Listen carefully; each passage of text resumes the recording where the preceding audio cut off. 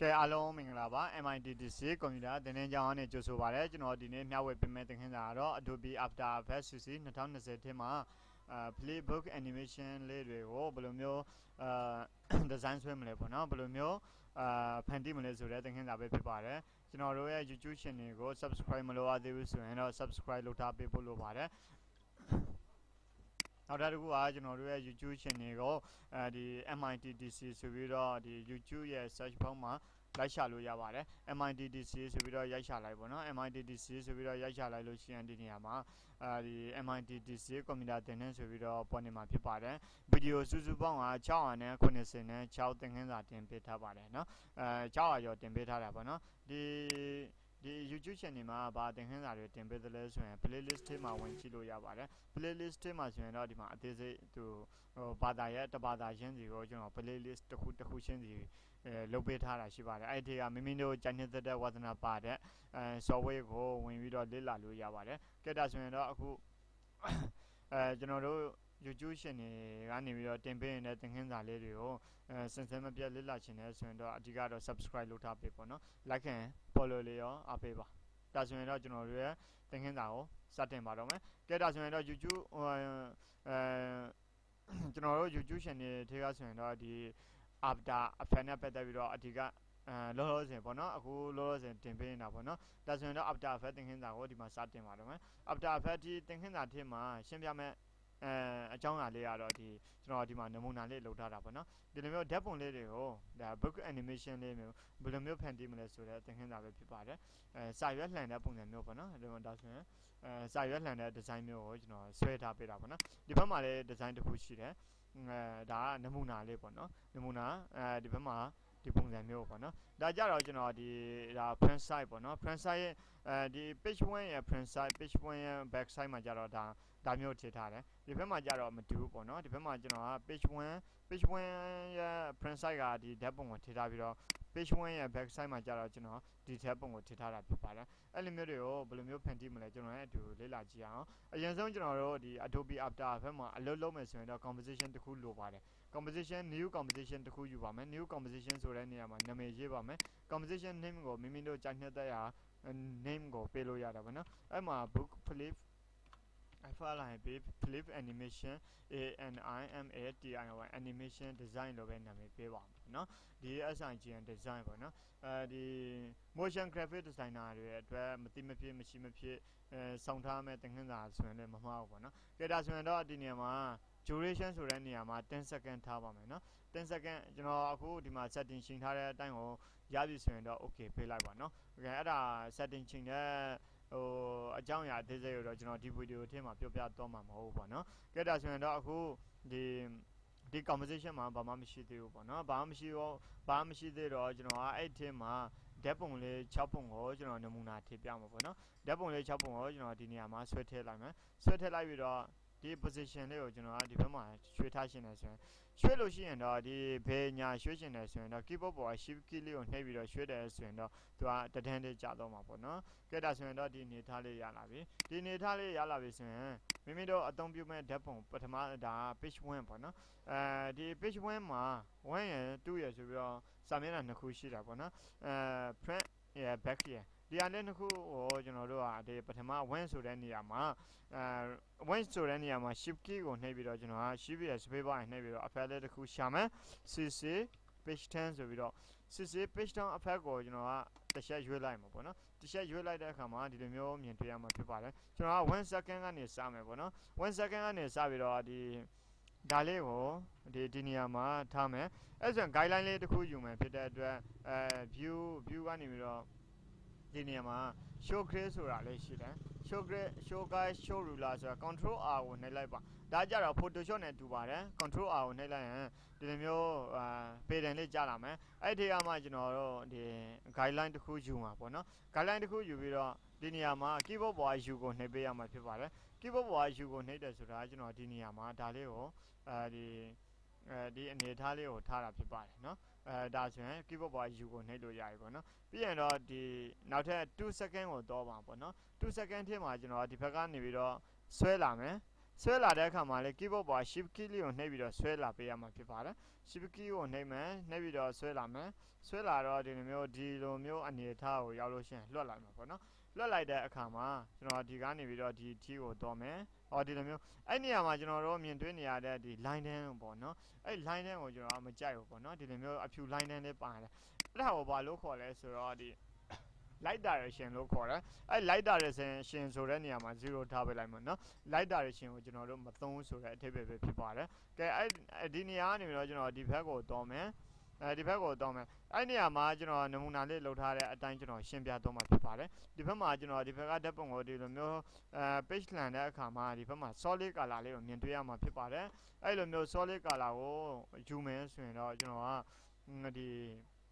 ဒါကို opacity ကို100%ထားမယ်ပြီးတော့ back page ဆိုတဲ့နေရာမှာ none ကိုထားပေးရမှာပေါ့နော်အဲ့ဆိုရင်ဒီမျိုး solid color လေးရရှိလာမှာဖြစ်ပါတယ်အဲ page 1 front side ဒါ page 1ရဲ့ back side ပဲဖြစ်ပါတယ်ဒီလိုမျိုးရရှိလာမှာပေါ့နော်အဲ့လိုမျိုးပါပဲကျန်တဲ့အဲကျန်တဲ့တစ်ခုကိုလည်းဒီတိုင်းလုပ်ပေးရမှာပေါ့နော်အဲဒီပုံစံအတိုင်းလုပ်ပေးရမှာဖြစ်ပါတယ်ကဲဒါဆိုရင်တော့အခုဒီအဲ front page ရယ် back page ရယ်ကျွန်တော်ကဒီနှစ်ခုကိုကျွန်တော်တို့အသုံးပြုရှင်နေဆိုရင်လည်းပြုလို့ရတယ်ဥပမာအဲ့ဒါလေးကိုကျွန်တော်တို့က right click ထောက်မယ် right click ထောက်ပြီးတော့ pre compose လုပ်မယ်အဲ့ဒါကို page 1လို့ပဲနာမည်ပေးပါမယ် page 1 enter ခေါက်လိုက်ပါဒါဆိုရင် page 1ရတော့ဆိုတော့ page 2ကိုကျွန်တော်တို့တော့ပါမယ် page 2ကိုတော့ဖို့အတွက်ဒီနေရာမှာ3ကနေစမှာပေါ့နော်3ရ4ရပေါ့နော်အဲအဲ့ဒါကိုအဲ shift ရ space bar ရနှိပ်ပြီးတော့ကျွန်တော်အဖက်တစ်ခုရှာမယ်စစ်စစ် page turn ဆိုပြီးတော့အဖက်တစ်ခုကိုတွေးပြီးဆိုရင်တော့အဲ1 click ထောက်လိုက်ပါဒါဆိုရင်တော့အဲအဖက်လေးကဝင်တော့မှာဖြစ်ပါတယ်ကဲဒါဆိုရင်တော့ဒီအဖက်လေးမှာကျွန်တော်ကစစ်စစ် page turn အဖက်လေးကနေပြီးတော့ ကျွန်တော်ဒီနေရာမှာ pole position လေးကိုအာ pole position ဆိုတဲ့ဟာလေးကိုဖွင့်လိုက်မယ်ပေါ့နော်ဖွင့်လိုက်မှကျွန်တော်အဲ့နေရာမှာ pole position ဆိုတဲ့နေရာမှာအခုဒီ page 1ကို page 1ကိုပိတ်ထားပေးမှာပေါ့နော် page 1ကိုပိတ်ထားတဲ့အခါမှာဒီဘက်ကဒါလေးပေါ်နေတာပေါ့နော်ဒီ page 1ဆိုတဲ့ဟာလေးဒီဘက်က page 1ရဲ့ back side ပေါ်နေတယ် အဲ page 1ရဲ့ back side ကိုကျွန်တော်ကဖျောက်ထားမယ်ဒီပြည့်စုံဦးထိုင်နေတဲ့ပုံကိုဒီကောင်လေးထိုင်နေတဲ့ပုံကိုဖျောက်ထားမယ်ဆိုရင်တော့အဲ double click နှိပ်မယ်ပြီးရင်တော့ဒီ02ဆိုတဲ့ဟာလေးကိုမျက်လုံးလေးမှိတ်ထားပေးရမှာပေါ့နော်ပြီးရင်ကျွန်တော်ကဒီအဲ page 1ကိုအာပိတ်မယ်ပိတ်တော့ဒီနေထားလေးရောက်လာပြီပေါ့နော်ဒီနေထားလေးရလာပြီဆိုရင်ကျွန်တော်အာဒီကနေပြီးတော့အာဒီဘက်ကိုလှန်တဲ့အခါမှာဒါ ဒီကနေပြီးတော့ဒီ page 2မှာဒါ page 2ရဲ့မျက်နှာပေါ့နော်အဲ back front side ပေါ့နော်อืม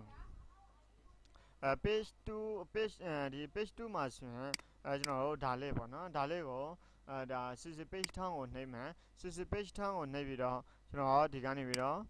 အဲဒီမှာချလိုက်မှာပေါ့နော်ဒီနေထားလေးထားမယ်အဲဒီနေထားလေးထားပြီးတော့တော့အခု အဲဒီနေထားမှာ keyboard ပေါ်က U ကိုနှိပ်ပါမယ် keyboard ပေါ်က U ကိုနှိပ်လိုက်တဲ့အချိန်မှာအဲ keyboard ပေါ်က U ကိုနှိပ်လိုက်တဲ့အချိန်မှာဒီလိုမျိုး keyframe နှလုံးတွေ့ရမယ်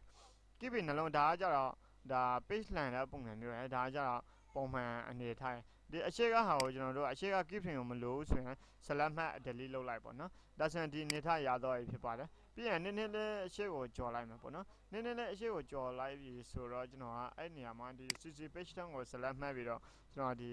နောက်ကိုဆွဲတော့ပေးရမှာပေါ့နော်နောက်ကိုဆွဲတော့တဲ့အခါမှာလည်းသူကဒီအဖြူအောင် line တန်းလေး light direction ဆိုတဲ့ဟာကိုမယူဘူးဆိုရင်တော့ကျွန်တော်ဒီနေရာမှာ light direction ဆိုတဲ့နေရာမှာ0ထားပေးလိုက်ပေါ့နော်ပြီးရင်တော့ save လုပ်ပေးရမှာဖြစ်ပါတယ် ပြီးရင်ကျွန်တော်တို့တွေဒီ CC page ထားကနေပြီးတော့ဒီနောက်ကိုရွှေ့တော့ပေးပေါ့နော်နောက်ကိုရွှေ့တော့ပေးမယ် shift key လေးကိုနှိပ်ပြီးတော့အဲဒီနေထားလေးရပြီပေါ့နော်ဒီနေထားလေးရလာပြီဆိုရင်ဘာလုပ်ပေးဖို့လဲဆိုတော့ကျွန်တော်ဒီနေရာမှာအခုဒါအဲဒီလိုပုံစံမျိုးပေါ့နော်ဒီဘက်ကိုရောက်တဲ့အခါမှာသူကဒီ page 1ရဲ့ page 1ရဲ့ဟိုအထက်ကိုရောက်သွားတယ်သူကအောက်ကိုရောက်သွား page 1ရဲ့အောက်ကိုရောက်သွားတာပေါ့နော် page 1ရဲ့အောက်ကိုရောက်သွားတယ်ဆိုတော့အဲ့နေရာမှာကျွန်တော်တို့ကဒီဒီ mass နဲ့ပတ်သက်ပြီးတော့အာနည်းနည်းရှင်းပြစရာရှိတာပေါ့နော်အဲ mass နဲ့ပတ်သက်ပြီးတော့ကျွန်တော်ရှင်းပြမယ်ဒီအောက်ကိုဒီအပေါ်ကိုဒီ page ကအပေါ်ကိုတက်လာအောင်ဘယ်လိုလုပ်ရမလဲပေါ့နော်အဲ့လိုဆိုရင်ဒီ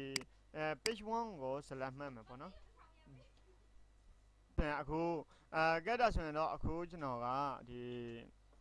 အဲဒီနေရာလေးမှာပေါ့နော် mask နဲ့ပတ်သက်ပြီးတော့ရှင်းပြမယ်အဲဘာကြောင့် mask ကိုကျွန်တော်တို့သုံးရလဲဆိုရင်ဒီအခုကျွန်တော်ဒီအဲ page 2ကိုလှန်နေတဲ့အခါမှာ page 1ရဲ့အောက်ကိုဝင်တော့တတ်တာပေါ့နော်အဲ့လိုမျိုးကိုကျွန်တော်တို့က mask နဲ့နေပြီးတော့ပြင်ဖော်လို့ရပါတယ်ဒီ after ဘက်မှာသူရဲ့အတားချက်ပေါ့နော်အဲသူ့ကိုရှစ်တိုးနောက်ဆုံးလုံးမယ်ဆိုရင်လည်းဗာနဲ့လုပ်ပေးလို့ရလဲဆိုတော့အဲအဲဒီ keyboard ပေါ်က down page အဲ page down key လေးနဲ့အလုပ်လုပ်ပေးလို့ရတာပေါ့နော်အဲဒီနေရာလေးမှာကျွန်တော်ကဒီ rectangle 2ကိုယူမယ် page 1ကို select မှတ်ထားပေးရမှာပေါ့နော် page 1ကို select မှတ်ထားပြီးရင်ကျွန်တော်ဒီကနေပြီးတော့ဒီထီကိုကျွန်တော်ဆွဲလိုက်တာပေါ့နော်ဆွဲလိုက်တဲ့အခါမှာသူက keyboard ပေါ်က M ကိုထည့်နှိပ်ပေးရမယ်ဒါက mouse pad ယူတာဖြစ်ပါတယ် mouse pad ယူတော့ကျွန်တော်ကဒီရှစ်ကိုတော့မယ်ပေါ့နော်ဒါ page down ဆိုတာ page page up ဆိုတာနောက်ပြင်ဆုပ်တာ page down ဆိုတာအရှိကိုတော့တာပေါ့နော်အရှိကိုတော့တယ်ပြီးရင်ကျွန်တော်ကဒီဒီဘက်ကဟာလေးကိုအဲအဲဒါကိုလောလောဆယ်ဒီဘက်ကိုလာမယ်ဒီဘက်ကိုလာတော့ကျွန်တော်ကဒီကောင်လေးကိုဒီနောက်မှာထားမယ်အဲပြီးရင် page down ကိုနှိပ်မယ်တစ်ချက်ဒီလိုမျိုးရတော့ရဆိုရင်ကျွန်တော်ဒီက key frame လေးနှစ်ခုပေါ့နော်ဒီဒါလေးနှစ်ခုကိုကျွန်တော်ကဘာလုပ်မလဲဆိုတော့ select မှတ်မယ် select မှတ်ပြီးတော့အဲ့ဒါလေးကိုကျွန်တော်ဒီအနေထားအထိကိုဆွဲလာပြင်မယ်ပေါ့နော်ဒီလိုမျိုးရလာပြီဒီမျိုးရလာတော့ keyboard ပေါ်က page down ကိုထည့်နှိပ်မယ်ဒီလိုမျိုးရလာပြီဆိုရင်နောက်ထပ်နည်းနည်းလေးဆွဲလိုက်မယ်ပေါ့နော်သူနဲ့တန်းတော်တဲ့အနေထား page down ကိုနှိပ်မယ်အဲနည်းနည်းလေးဆွဲလိုက်မယ် shift key လေးကိုနှိပ်ပြီးတော့အတက်ယူလို့ရပါတယ် page down ကိုနှိပ်မယ် page down ကိုနှိပ်ပြီးတော့ဒီမှာဒီဘက်ကဟာမြင်ရတဲ့အတိုင်းဒါဒီပေါ့နော် page down ကိုနှိပ်မယ် page down ကိုနှိပ်ပြီးတော့ဒီဘက်ကဟာကိုမြင်ရတဲ့အထီကိုယူမယ် နောက်ပြီးတော့ page down ကိုနှိပ်မယ်ဒီဘက်ကရောမြင်ရတဲ့အနေအထားလေးကိုတော့မယ်အဲ page down key ကိုနှိပ်မယ်ဒီဘက်ကရောမြင်ရတဲ့အနေအထားလေးကိုပေးတော့မယ် page down ကိုနှိပ်လိုက်မယ်ဒါဆိုရင်ဒီလိုမျိုးရတော့ဖြစ်ပါတယ် keyboard ပေါ် save ကိုနှိပ်လို့ရပါတယ်ကဲဒါဆိုရင်တော့အခုကျွန်တော်တို့တပည့်ဒါအဆင်ပြေပြီလားကြည့်အောင်ပေါ့နော်ကဲဒါဆိုရင်နောက်ထပ်တစ်ခုရှိတာကဒါကျွန်တော်တို့တွေဘာလုပ်တဲ့ဟာလဲဆိုရင်ဒီဘက်မှာမြင်နေရတဲ့ဟာဒီ page အဲ page အဲ page 2ရဲ့ဒါ page 2ရဲ့အဲဒါ back side ပေါ့နော်ဒါဒီဘက်မှာကြတော့ဒါ page 1အဲကဲသူ့ကိုဟောရဲအဲပြန်ပြီးတော့ play ကြည့်အောင်ပေါ့နော်အဲ play မယ်ဒါ page 1အဲ page 1ရဲ့ page 1ရဲ့ back side ဒါ page 1ရဲ့ back side ဖြစ်တယ်နောက်ပြီးတော့ page 2လှန်မယ် page 2လှန်တဲ့အခါမှာဟောဒီလိုမျိုးအဲဒါဒါဆိုရင်အပေါ်ကို အပေါ်တက်သွားပြီပေါ့နော်အောက်ကမဝင်တော့ဒါဆိုရင် page 2ရဲ့ဒါအာ back အဲ page page 2မှာလဲသူကဒီပုံပဲဖြစ်ပါတယ် page 2မှာလဲအဲဒီပုံပဲပေါ့နော် page 2မှာလဲဒီပုံပဲ page 2မှာလဲဒီပုံပဲ page 2ရဲ့ front side မှာလဲဒီပုံပဲ page 2ရဲ့ back side မှာလဲဒီပုံပဲပုံကတစ်မျိုးတည်းဖြစ်နေတယ်ကျွန်တော်အဲ့လိုဆိုရင်ဒီနေရာမှာအဲကျွန်တော်ဒီလိုမျိုးအဖြူရောင်လေးထည့်ချင်တာပေါ့နော်အဲ့လိုဆိုရင်ဒီနေရာမှာ အဲဒီ page နေရာမှာ page back back page ဆိုတဲ့နေရာမှာနန်းထားပေးလိုက်အဲ့လိုဆိုရင်ဒီလိုမျိုးဖြစ်သွားမယ် back opacity ကို100%ထားပေးလိုက်အဲ့လိုဆိုရင်ဒီလိုပုံစံမျိုးမြင်ရမှာဖြစ်ပါတယ် page 1 page uh, page 2 page 2ရဲ့ back side နဲ့ဒီ page page 1နဲ့ back side နဲ့အတူတူဖြစ်နေတယ်ဒါဆိုရင်တော့ကျွန်တော် mask ထည့်ထားတာကိုတိတ်မသိတာဘူးပေါ့နော်တိတ်မသိတာတော့ကျွန်တော်နောက်ဒီ page 2ရဲ့ back side ဆိုတဲ့ဟာလေးပေါ့နော်အဲ့ဒါလေးကိုထည့်ကြည့်မှာပေါ့နော်အဲ့ဒါလေးထည့်လိုက်လို့ရှိရင်ပို့ပြီးတော့သိတာသွားလိမ့်မယ်ဒါဆိုရင် number 4ကိုယူပေးရမှာပေါ့နော် number 4ကိုယူပေးလိုက်အဲ့လိုဆိုရင်ဒါမျိုးဆိုရင်တော့သိတာသွားမှာပေါ့နော်အဲကျွန်တော်ကဒီပုံအစားကျွန်တော်ကဒီ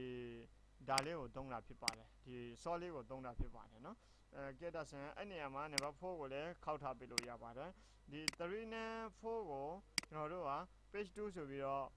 pre-compose လုပ်မယ် right click ထောက် pre-compose pre-compose ဒါကိုကြတော့ pag ရဲ့ page 2ဆိုပြီးတော့နာမည်ပေးမှာပေါ့နော် okay ပေးလိုက်မယ်ဒါကြတော့ဒါ page 1ရဲ့ page 1ရဲ့ back side ရဲ့နောက်ပြီးတော့ page 2ရဲ့ page 2ရဲ့ back side ရဲ့ဆိုပြီးတော့နှစ်ခုကိုကျွန်တော်ရှင်းပြတော့တာဖြစ်ပါတယ်နောက်ပြီးတော့ page 3 page 4 page 5ကျွန်တော်တို့တွေအဲဓာတ်ပုံဘယ်နှစ်ပုံပဲထည့်ထည့်ပုံ20ပဲထည့်ထည့်ပုံ50ပဲထည့်ထည့်ပုံ100ပဲထည့်ထည့်ဒီတိုင်းလုံတော့ပေးပေါ့နော်အာမရတာရှိရင်ကျွန်တော်ကို comment box ကနေပြီးတော့မေးလို့ရပါတယ်ကျွန်တော်အသေးစိတ်ရှင်းပြပေးတော့မှာဖြစ်ပါတယ်အဲတကယ်တော့တခုလေးလာမယ်ဆိုရင်တော့အသေးစိတ်ကိုလေးလာပေးပေးအဲလေးလာကြည့်ပေါ့နော်ဘာဖြစ်လဲကြော်အဲကြော်လိုက်ကြည့်လိုက်ကြော်လိုက်ကြည့်လိုက်ဆိုရင်တော့ကျွန်တော်တို့ အာဒီသင်ခန်းစာရဲ့ဟိုအသေးစိတ်ကိုသိရမှာမဟုတ်ဘူးပေါ့နော်ဒါဆိုရင်တော့ဒီအဲ both play animation design နဲ့ပတ်သက်ပြီးတော့ Adobe After Effects မှာ animation လုပ်တဲ့လိမ့်မယ်လို့လည်းယုံယုံကြည်ပါတယ်အဲဒါဆိုရင်တော့ဒီသင်ခန်းစာကိုကျွန်တော်ဒီမှာပဲရပ်ပါမယ်အလုံးအဲကျမ်းမာရှင်းသာရပါစေအလုံး bye bye